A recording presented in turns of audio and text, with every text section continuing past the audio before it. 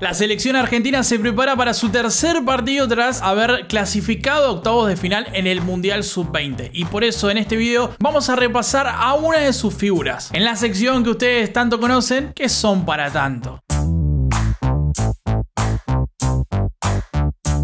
Bienvenidos, soy Giaco. Eh, la verdad es que me encanta volver a esta sección cada tanto y la opción de hablar de Mateo Tanlongo es muy buena porque es una de las figuras de la selección argentina de Mascherano en el trayecto de este Mundial Sub-20 en el que ya ganaron y clasificaron a lo que es octavos de final y por eso antes del tercer partido quería repasar con todos ustedes por qué es tan importante en el medio campo su pequeña carrera, su corto tiempo en el fútbol europeo y lo que puede llegar a dar en el futuro. Antes, por supuesto, te invito a suscribirte a este canal y a darle like si te gusta este tipo de contenidos. Y además te adelanto algo muy importante, verás mi cara de roto absoluto. Estoy laburando muchísimo lo que es el documental, así que muy atentos porque está más o menos a un 70%, posiblemente se estrene la segunda parte de ese muy querido video que ya pudieron ver hace un mes, pero que nos quedamos con Arabia Saudita. Y ahora toca el segundo episodio que abarcará todo lo referido al Mundial hasta Holanda. Mascherano decidió poner a Tanlongo como su 5 titular junto a Maxi Perrone, la verdad es que muchos, me incluyo, nos sorprendíamos un poco de la falta, por ejemplo, de Fede Redondo, el no probar en el mediocampo a Miramón. Y claro, son jugadores que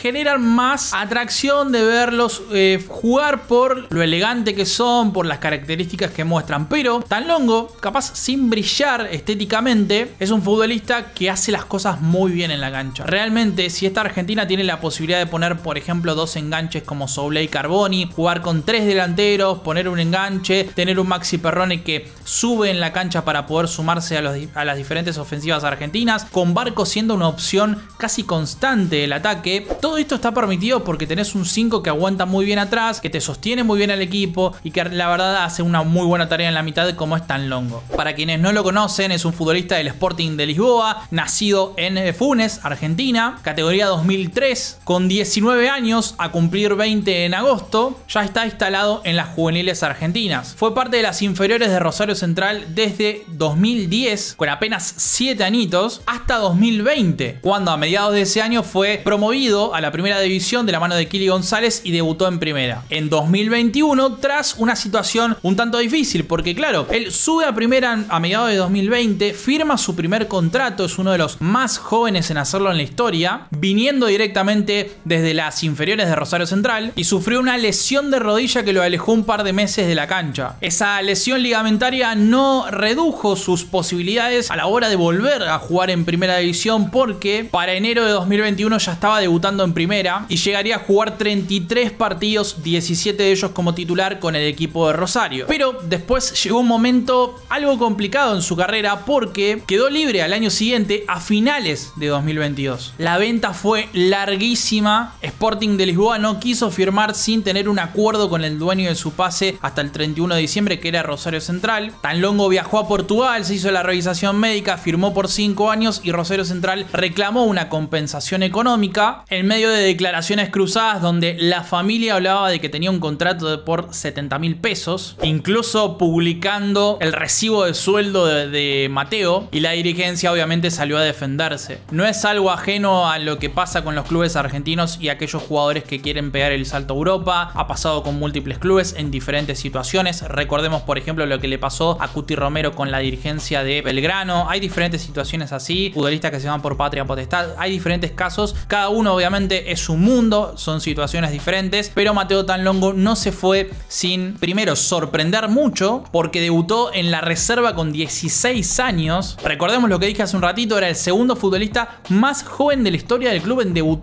en esa división y no había manera de que no termine escalando a primera porque las condiciones que tenía eran muy buenas. El Chueco García, entrenador que eh, tan longo tuvo en lo que fue reserva, en novena, en octava, habló con Infobae y comentó es un 5 posicional con muy buen pase de salida, mejor pase corto que largo, es muy polifuncional porque al margen de ser posicional hace muy bien los relevos de coberturas para atrás. Muy inteligente en la parte táctica, siempre lo fue y esto se demuestra en la selección de Mascherano, donde lo que dijimos recién es el que sostiene la estructura tan ofensiva que quiere posicionar el ex futbolista de la selección argentina. Juega en Sporting de Lisboa, la verdad que fue eh, seguido por varios clubes, fue el equipo portugués quien apuntó a él. No es una mala liga para los jóvenes argentinos, la liga de Portugal, la liga de Holanda suelen ser el paso medio antes de escalar. Miremos lo que pasó por ejemplo con Enzo Fernández. En la previa del Mundial Sub-20 llegó a jugar 11 encuentros con el equipo portugués, pero nunca jugó de titular y apenas eh, lo máximo que llegó a jugar en un encuentro es 20 minutos. Este mediocampista diestro de 1,81 de altura tiene una cláusula de rescisión de más de 60 millones de euros. Elogian mucho su agresividad en la marca, su muy buen posicionamiento, su muy buena ubicación y claro, esa capacidad que tiene para jugar no solamente como mediocampista central, sino además como central, como lo demostró en el último partido, donde entró redondo, Maxi Perrón ese día en cancha, Tan Longo se retrasó a lo que es la saga central y el resto siguió acompañando de mitad de cancha hacia adelante. La verdad que su tarea en lo que es el mundial actual está siendo muy buena, es muy prolijo a la hora de jugar. Además, es una personalidad muy fuerte, recordemos, él fue el que dijo que estaban para campeones en este mundial sub-20, dijo que lo que pasó en el sudamericano ya está, que este es un nuevo capítulo, es muy inteligente y no quería dejar de destacarlo porque está lejos de lo que generan, por ejemplo, Valen Carboni, Soule, Garnacho, futbolistas muy renombrados, pero hay otros que hacen un trabajo sucio muy interesante, muy útil y que hay que destacarlos también porque son parte del futuro de la selección. Y ese es, por supuesto, Mateo Toto Tanlongo. En apenas unas horas venimos con mucho más contenido de la selección argentina sub-20 y por eso estén muy atentos, suscríbanse y denle un like si les gusta este contenido. Nos vemos en apenas unas horas.